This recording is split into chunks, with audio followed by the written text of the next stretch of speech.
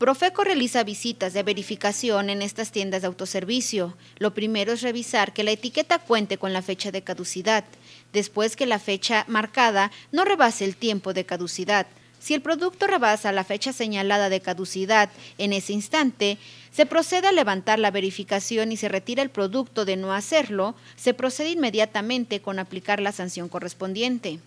Comenta que en diciembre del año pasado tuvieron una queja de una persona que compró pollo en Bodega Urrera, el cual salió en mal estado, por lo que tuvo que desecharlo. Posteriormente, acudió a la tienda de autoservicio a hacer el reclamo y le hicieron el cambio del producto.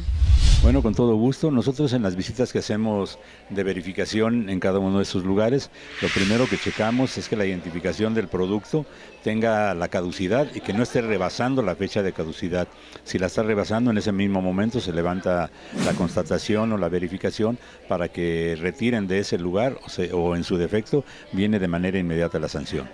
En diciembre tuvimos una queja precisamente de una persona que vino a poner aquí que en Aurrera había comprado pollo y que le había salido en mal estado y que eso ocasionó que tuviera él que incluso eh, desecharlo.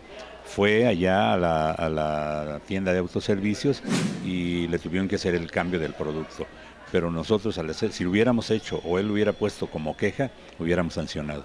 La sanción, bueno, la sanción obviamente por tener un producto en mal estado o por una fecha de caducidad, obviamente la norma oficial mexicana establece eso y las sanciones empiezan desde 255 pesos hasta 27 mil de manera inicial. Eso se, les notifica ya cuando se les da la, multa. La multa vienen y la tienen que pagar aquí en el ayuntamiento y posteriormente de aquí sale a el gobierno del estado y Hacienda.